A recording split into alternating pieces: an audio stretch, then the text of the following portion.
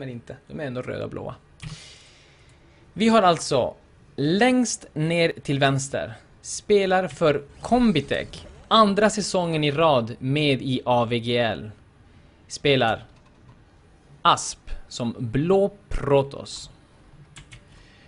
Och längst bort till höger. Första säsongen i AVGL. Spelar för Bredbandsbolaget. En röd Terran som heter Kenka. Nu är det så att Kenka är en gammal Broodwars-spelare så det kan hända att någon sitter där hemma och bara Åh oh shit, jag känner igen namnet Kenka, jag tror jag vet vem det är. Ja, det är faktiskt den Kenkan. Kenkan spelar alltså som Terran mot en Protoss som spelas av Asp. Det står 1-1 i matcher just nu. Eh, jag vet inte riktigt vilka som spelade de tidigare matcherna, alltså vilka spelare från de här lagen som spelade. Ehm, jo, det var Tuti vann... Nej, Tuti förlorade den första för Bredbandsbolaget. Och eh, Muffe vann den andra för Bredbandsbolaget. Så det står 1-1. Och eh, det här är alltså avgörande matchen för att avgöra vem som vinner omgång två mellan Bredbandsbolaget och Combitech. Så kan jag passa på och även förstås tacka våra guldsponsorer Kruna, Combitech, Bredbandsbolaget, Fabrication Games, Fula Fisken och Telia som har gjort att denna eh, fantastiska eh, prisbotten på 38 000 kronor. Återigen så läste jag i chattet och kom av mig igen för Lord Dave ja, han trollar nu. Troll, troll, troll. Eh, ja. Så det här är alltså en hel bonusmatch. Som jag sa att jag absolut aldrig skulle göra, för vi skulle inte köra bonusmatcher. Men det är så svårt att inte göra bonusmatcher. De är så himla roliga att göra. Plus att det är bara bra att se ännu fler matcher. Och anledningen till varför det är så bra att se fler matcher är just för att um, det, det, är inte så jätteenkelt att kasta matcher när man själv inte är en proffsspelare. Um, man går mycket på vilja och man går mycket på Ja, den kunskapen man hinner få. Men desto fler matcher man ser, desto fler saker lär man sig. Typ att jaha, han gick så här och då hände det här. Oh, spännande.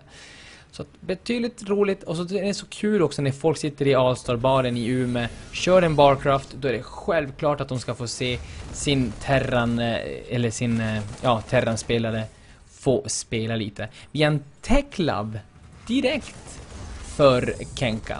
Han ser till att inte proben ska störa honom mer, men han, proben har ju sett att det är en Tech på gång. Jag hoppas att han klickar så inte han tror att det var en reaktor, men man ser skillnaden ändå. Kenka har sin Tech färdig. Är det Reaper som kommer göra det eller? Nej, han gör Marauders. Okej. Okay. Eh, han fortsätter att scouta här uppe i alla fall. Eh, Asp flyr tillbaka med sin lilla probe och ser till att döda den SCVn med sin Stalker. Det var riktigt fint spelat av Asp. Eh,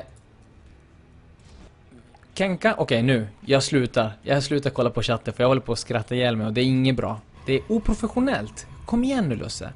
Drick mer rysk vodka och så kör vi bara. Vi kör! Sådär. Asp går i alla fall på en expansion här, men med marodersar, med väldigt många Marauders som är rallypointade till, ja, vart har du rallypointen? Där i mitten. Kommer faktiskt göra det väldigt jobbigt för Asp som har gått Nexus först. Och nu kommer beslutet av Asp att, okej, okay, jag såg en Marine, jag ser en Marauder redan nu. Kanske, kanske borde jag faktiskt inte göra färdigt den här Nexusen. Men istället så väljer han att göra det. En Sentry kommer inte räcka att stänga av den här rampen. Och Kenka har faktiskt färdigt Conclusive Shells, vilket gör det väldigt jobbigt att mikra mot Marauders. Det är i stort sett helt omöjligt. Men det här gillar jag. Asp lägger upp en probar, han vill se när Kenka kommer och han ser att åh nej, han kommer nu. De här två Sentries kommer vara bra att försvara den här rampen, men den här Nexusen... Ah, du skulle inte ha behållit den här Nexusen. Två gateways till. Nej, du skulle ha kört en cancel på den här Nexusen. Ah, jag vet inte om Kenk, eller om Asp hinner rädda den här Nexusen. Det är, och jag har satt Nexus fem gånger nu på typ 30 sekunder. Två cellots mot Marauders med Concusive Shells. Inte det bästa. Men riktigt fina forcefields tvingar honom att mikra åt andra hållet. Men de är inte riktigt instängda och kan fortsätta att bara springa runt och kajta dem som en gammal riktigt EQ-spelare. Men Asp hinner faktiskt riktigt tjusigt, kanske. Nej, han hinner inte fly med ena centrin och nu är det tight. Han behöver någonting mer. What? Två stycken cellots till. Kan rädda den centrin. Han... Åh, oh, vad fin forcefield. Kanske... Ja, jag vet inte. Han hindrar Marauderna fly, ja. Men problemet är att han, han slösar sin enda forcefield han har för att hålla undan från fler Marauders. Så att det han har problem med just nu är att han har inga trupper att hantera det här. Okej, nu äntligen. Fyra Stalkers.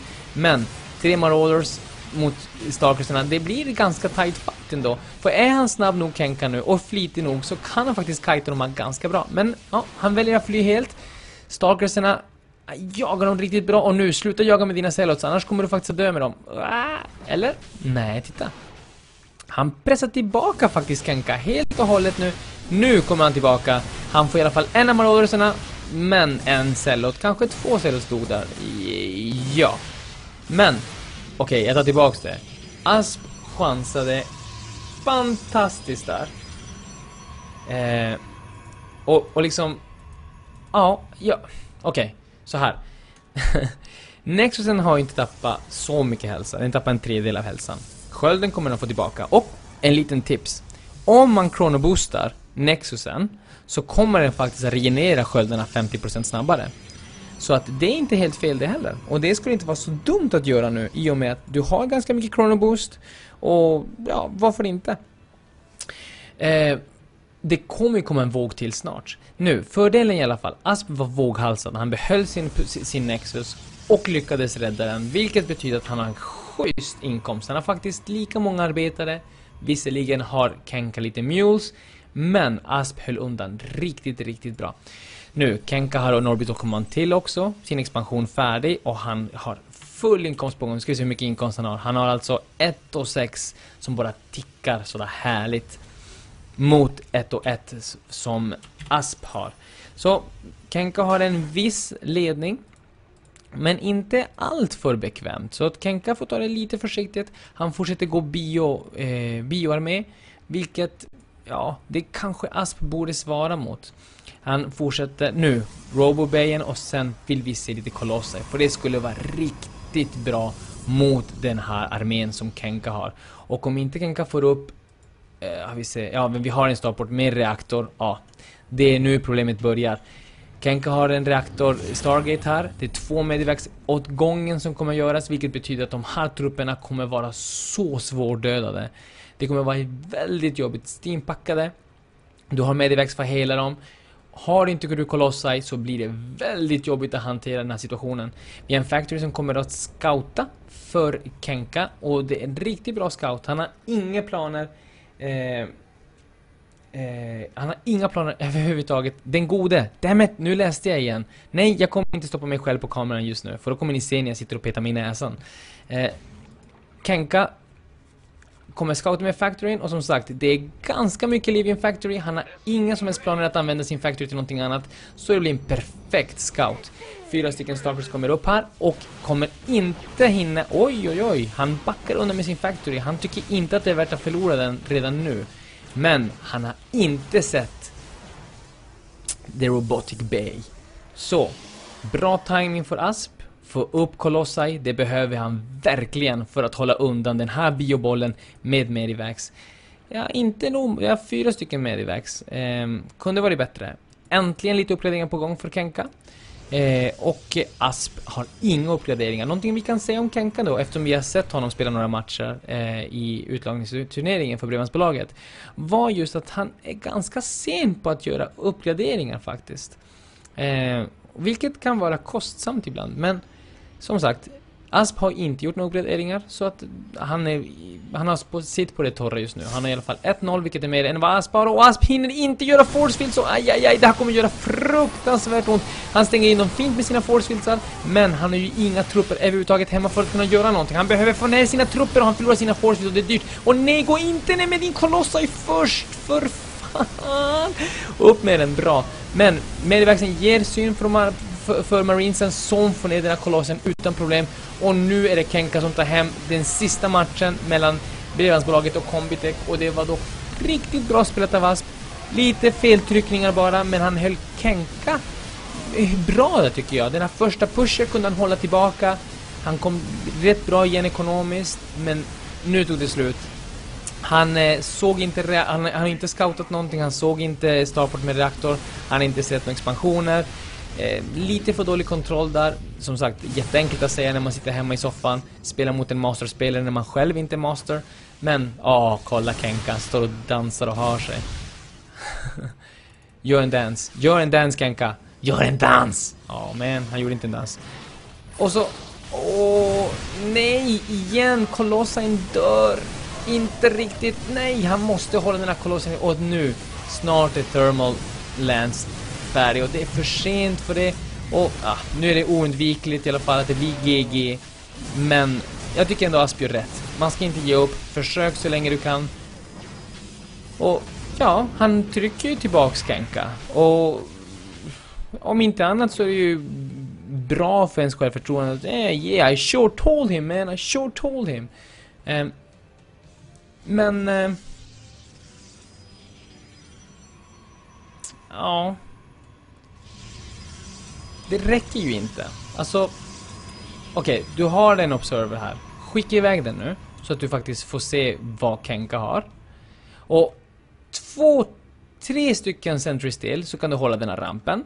Så kan du köpa dig tid. Mm. Men...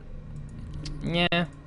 Kenka far omkring i alla fall, han vill se, har vi någon expansion här? Han har faktiskt inte scoutat högst upp här. Det är lika bra scoutat där uppe. Och han ser ingenting.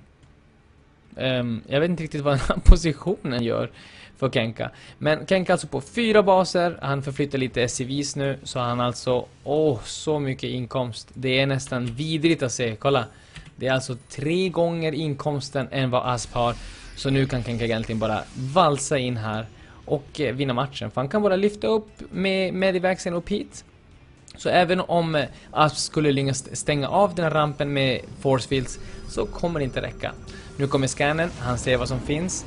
Och ja, även om vi har thermal lens på den här eh, extended thermal lens och två kolossai så ja, alltså man ska inte säga aldrig. Det kan funka. Och nu kommer droppen och det blir väldigt oh, en force field bränd. Den här droppen var lite farlig. Han kommer faktiskt att droppa här uppe ungefär som vi föreslog men mm, nu är han i alla fall uppe. Det här kommer göra ont oavsett. För att han kan anfalla i fronten. Okej, okay, han backar undan. Och nu kan han bara pusha egentligen. Nej, han gjorde inte det.